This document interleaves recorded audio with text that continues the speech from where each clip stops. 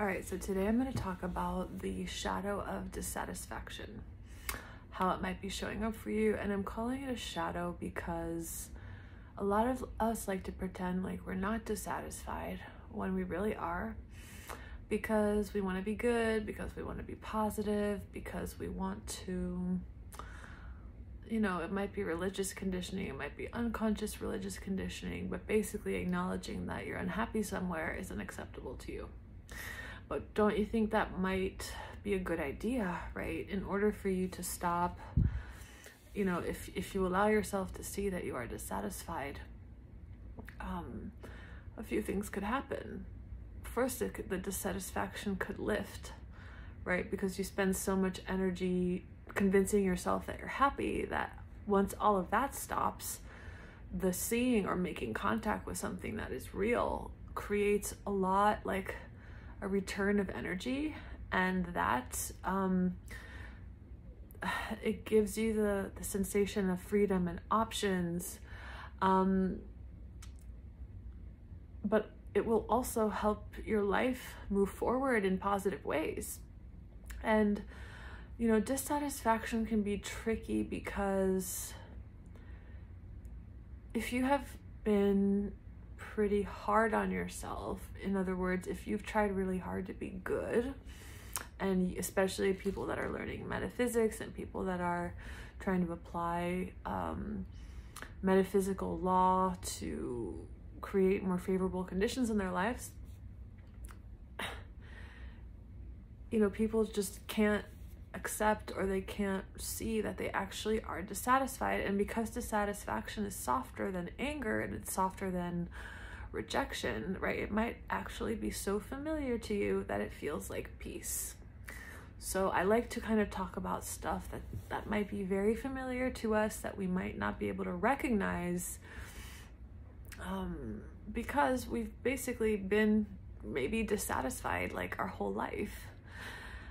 Um, and so dissatisfaction can be in the same way that a lot of people need to get angry or resentful at someone in order to leave a situation, like in order to leave a job, in order to leave a partnership or a situation or an event. Like people don't feel free to make choices. So they need to basically propel themselves away by creating negative emotion. But so, like I said, dissatisfaction is a little softer.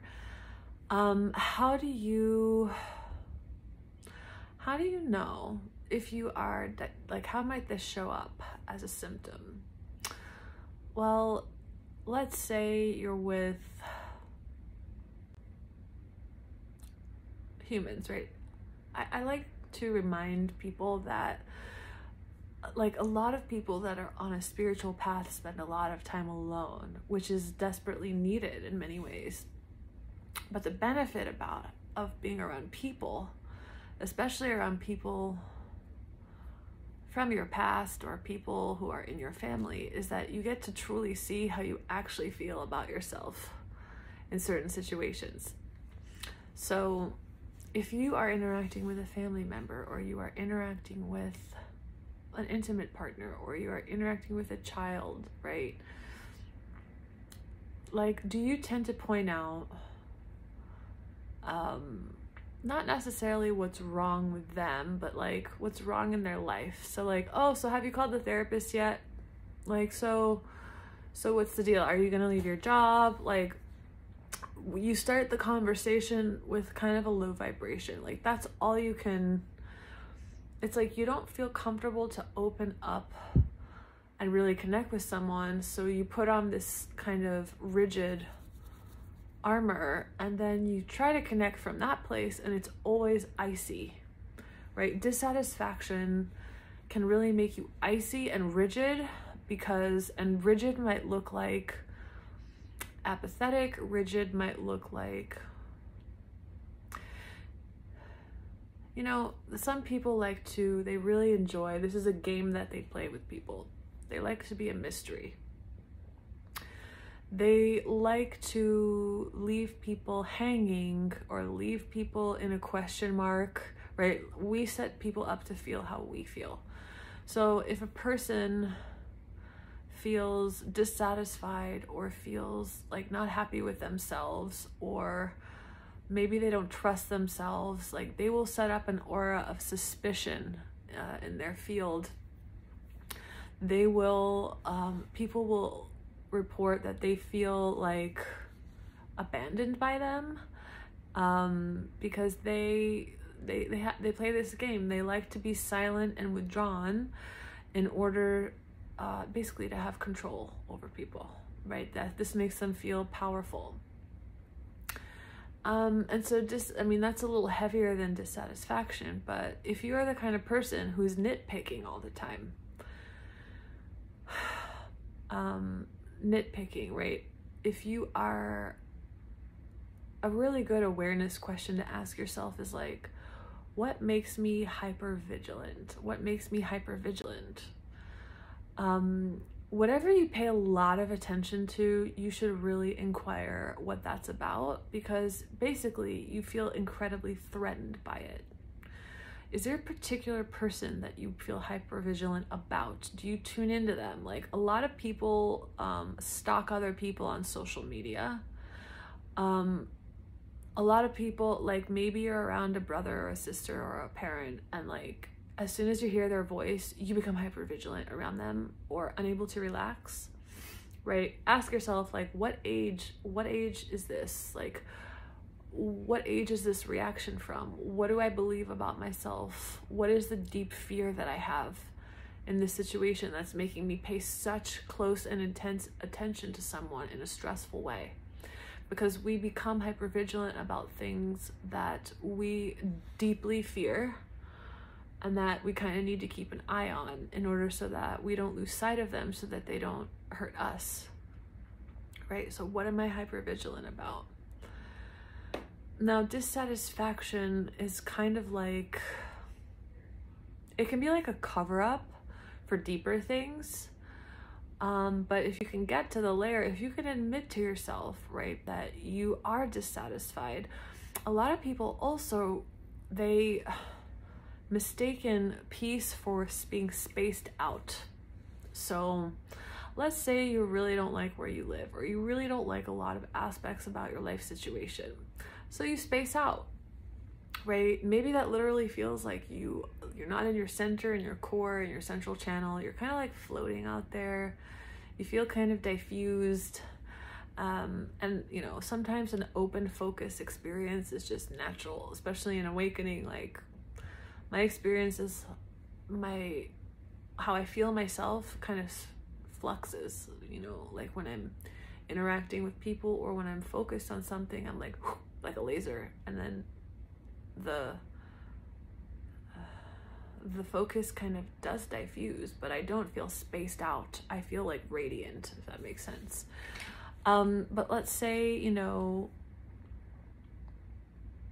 let's say like you really truly are unhappy about something in your life. You are dissatisfied but you can't feel it or you can't see it because you're spaced out all the time. Well so ask yourself what would it look like? If you feel like what i'm saying is true for you it's like how does that show up for me? How does my dissatisfaction show up for me? When somebody asks me about my life do i feel shame? Do i feel shame? We want to be aware of dissatisfaction because it points to something deeper. It points to something deeper. It's like a masking emotion.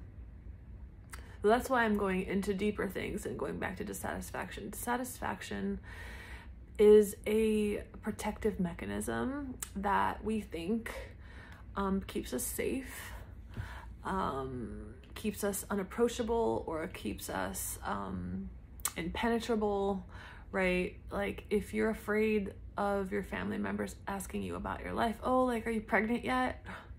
Um, or, you know, those questions that tend to trigger people. Um, well, that wouldn't bother you unless unless you were dissatisfied with your life, right? If some, people making comments about your life or asking about your life um, in a certain way would not trigger you or make you uh, stressed unless you really weren't happy with your life. So that's important to acknowledge, right? That's important to acknowledge like I am not happy with my life. Maybe I do believe that I should be somewhere else or someone else. Okay, that's real for part of you. Okay, maybe I do believe that you know, for me, I had a belief and this is a a deep collective belief of in the female in women. I had a belief that was shocking to see right? Because we always think we're more evolved than our parents or our grandparents, but these thoughts are inside us. And the deeper you're awakening, right? The deeper you're going to see into like kind of the matrix of the human mind as well, right? So sometimes it might shock you to see just how influenced you are by your family. But I had a thought that I literally had no reason to live unless I was a mother. And I realized, like, looking at it and tuning into it, you know, I, I hear a lot of people my mom's age saying, well, if you're not going to have a career, like, then you have to be a mother because you have to contribute in some way. Like, and I agree, I agree about contributing. Um, but if you don't have a, a conventional job, then you do the mother thing and that will bring you fulfillment. And then people, my grandmother, you know, my grandmother's um, age, it's almost like if you didn't have a child like you were an invalid or something. I that was in my mind. Like if i don't have a child i'm an invalid. Like i don't exist like i don't have a purpose. Um, and i avoided that and the way that that showed itself was the avoidance of ending a relationship that could have been ended earlier than it did. Ultimately that's not true but it dragged on for longer than necessary really um, so uh, it's important to acknowledge the dissatisfaction in your life. Sometimes it's covering something deeper, like shame that you have about who you are. Sometimes it's a message, right? Sometimes you're not meant to be satisfied with a situation because you're you're being called somewhere else. It's impossible. It's impossible to be satisfied with something that really does not feel true and compatible for you. So like I remember in a relationship that I that I was in, like I adored and deeply loved that person. I really did. And I could have seen myself spending my life with that person, but the the deeper, the deepest part of me felt I wouldn't say dissatisfied, but it felt like there was a sense of drag. Like this isn't mm, this isn't in your highest good. Let's put it that way. Um, and when I finally let myself see that, a lot of truth about the situation I was in was revealed, right? When I when you're real and true with yourself, truth is revealed to you. Like the universe is holographic. So if I'm real and true with myself, if I stop deceiving myself, if I have a nagging voice inside me that's calling me somewhere, you know, or that still small voice. And I keep snuffing it out with even spiritual concepts, which I talk a lot about because that happened to me, right? Um, even an idea like unconditional love, even an idea like raise your vibration and change your attitude. Energy is deeper than attitude because your attitude changes your emotion, but the current of life is underneath emotion. So no matter what you do with your attitude, right?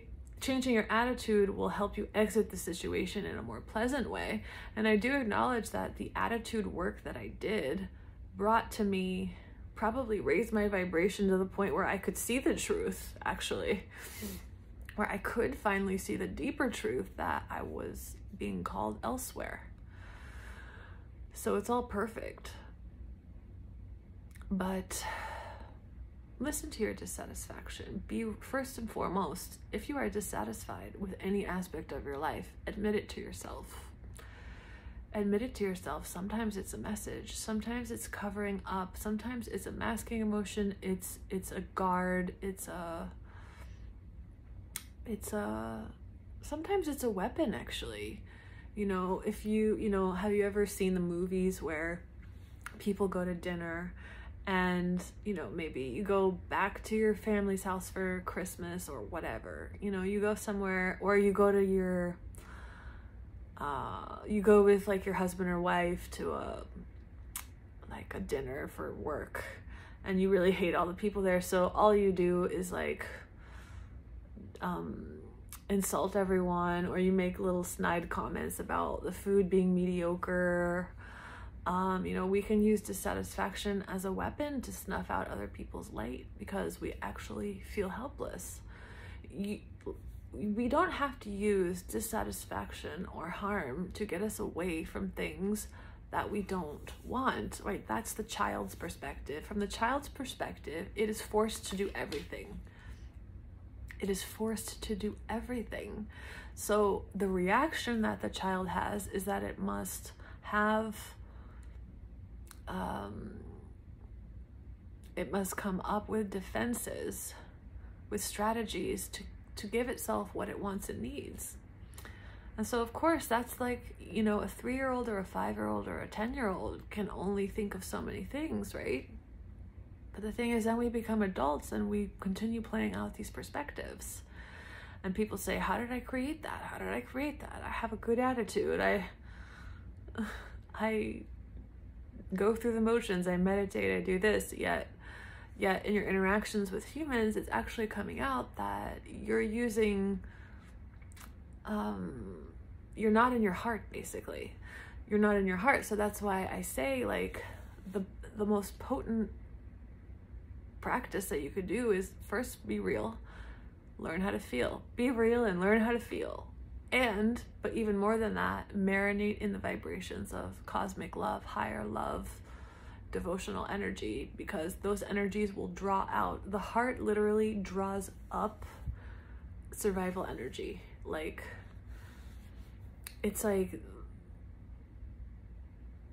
those survival energies in the lower three chakras. When you're in your heart and you put awareness in your heart, it's like a magnet that draws up the energy and it like repurposes it in a way, or at least it exposes it so that you can in the moment where it's arising, you can be in your heart and you can have it wash through the heart and become repurposed into creative energy that you can use with intention.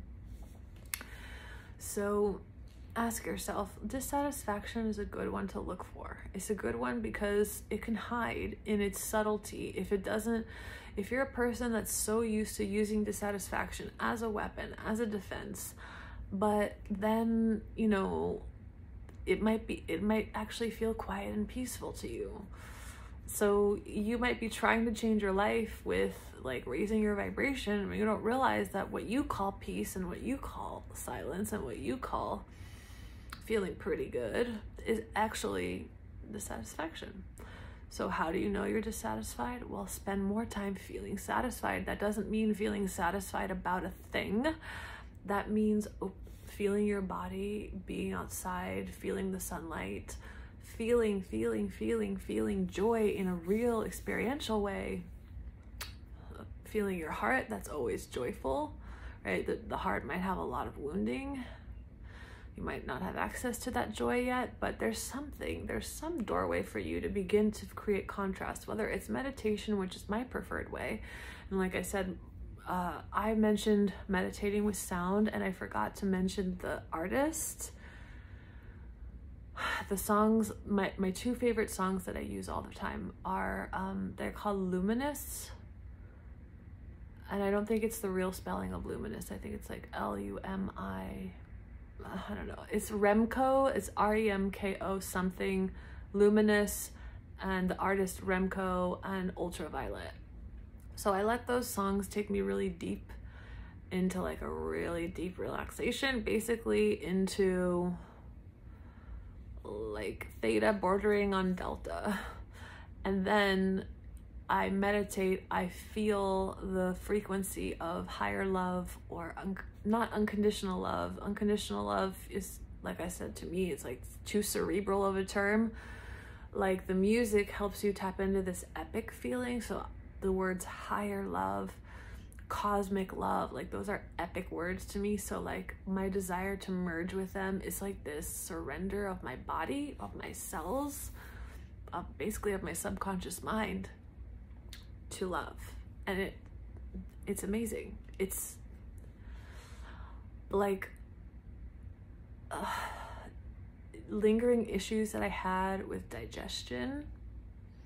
I had, you know, I mentioned that the second chakra for me um, was when Kundalini went through that chakra.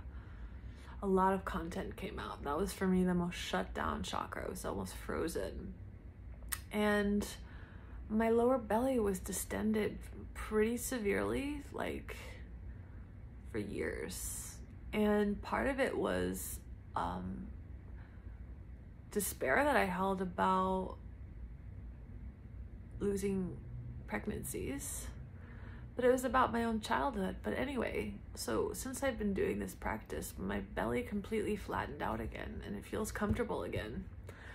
Um, I've mentioned as well, you know, if you want to do, if you want to start practice practicing using sound or frequency, which is sound to me, like frequency, like so picking a, there's a meditation called Blessing of the Energy Centers 3 by Joe Dispenza, and um, you pick a symbol or astral energy that would be the medicine for the chakra. So the first chakra could be an anchor, right? If you're trying to anchor stability, especially if you're trying to learn to come back into your emotions and like anchor a feeling of stability.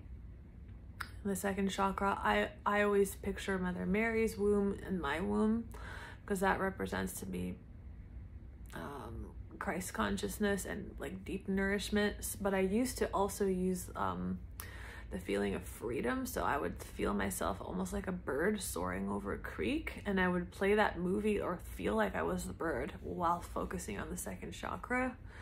On the third chakra, I would basically put um, either Babaji because the, the third chakra is the personal mind, the personal adult mind, and you know, Babaji is a master and or I put a sun, a radiating sun, which represents me being in my own energy because especially because I work in all the dimensions, I'm very aware of when people think about me, when people tune into me. Um, people have a sexual thought about me, or people, and, and I'm not like, you know, that's just happened a few times. People's astral bodies come to you, right, when they have.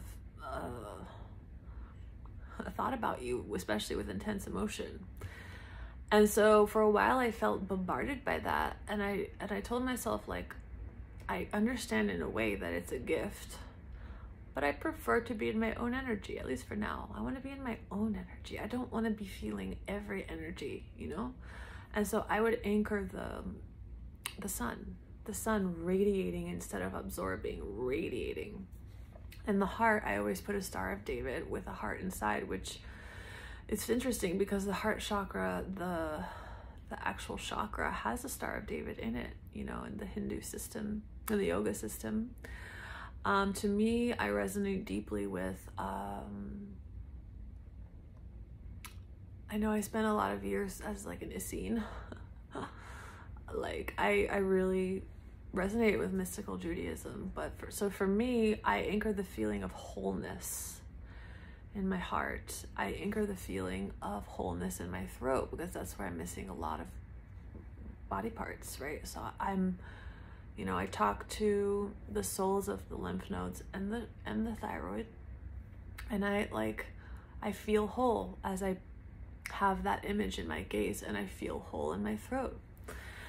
Um, the third eye, I don't really use a symbol for.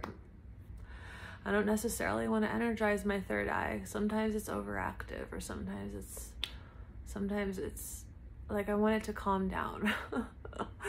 so those aren't as important, but that's a good way to begin like anchoring frequencies. Um oh, and in the eighth chakra, I always put my rainbow light body.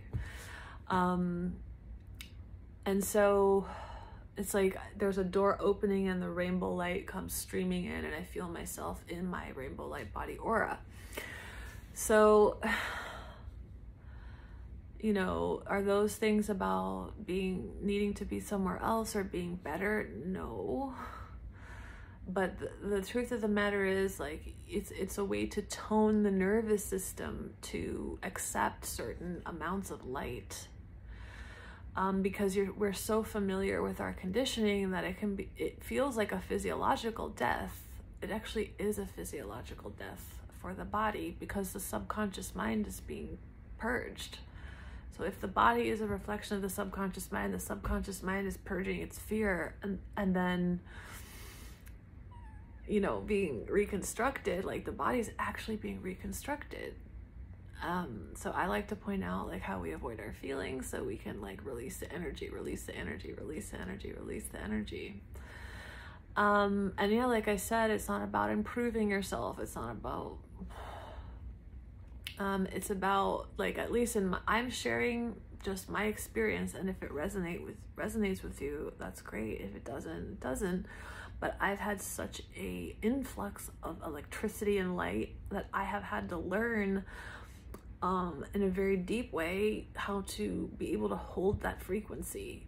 Because it, otherwise it could feel like it could feel like you're getting electrocuted. It could feel like you're it's like you can't hold it. So so then you you start to do what you did as a child like in the same way that you couldn't handle the light uh, or the experience of the chaotic emotions, like if you can't handle the intensity of the light, first of all, I would ask myself, am I afraid of the light?